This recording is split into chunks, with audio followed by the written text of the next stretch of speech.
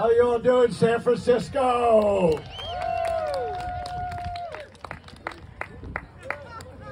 I know, an old bald guy with a big nose.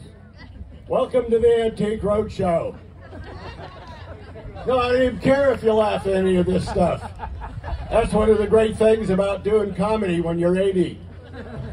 I've already failed at so many things in life. This is nothing. I'm not even comfortable up here. I told my daughter Rebecca I need a couple of gin and tonics. She said, Dad, you want to mix alcohol and crappy material. You know the only difference between me and the young comics? I already know I'm going nowhere. few years I won't even be able to hear if you're laughing. A few years after that, uh, actually, what are you all doing out there right now? Because the bottom line here is nobody needs to be behind a microphone at 80. Have you seen Mick Jagger lately? I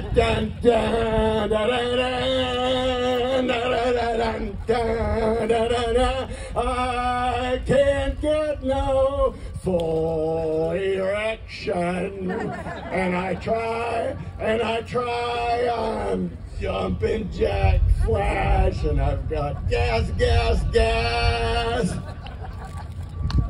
I mean, that guy is just up there waving that stinky old butt of his around.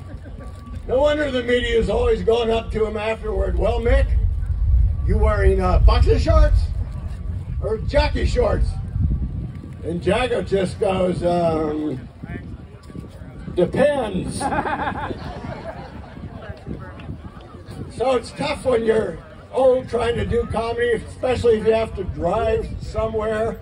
Like, uh, I had a gig in Napa, and of course I got lost, so then I was running behind.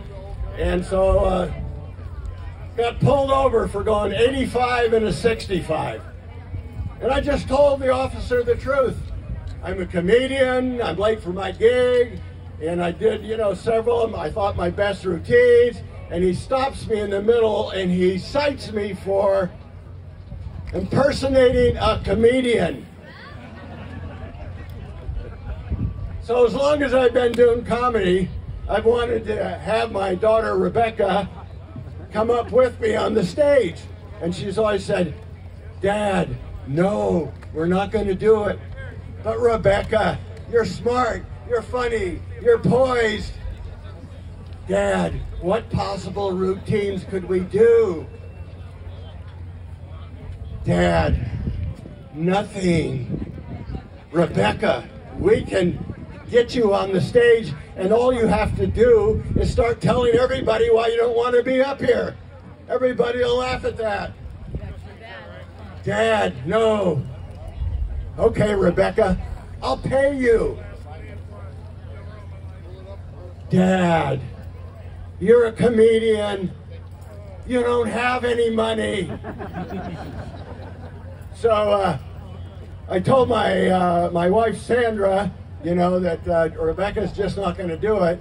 And uh, my wife says, okay, I'll come up on stage with you.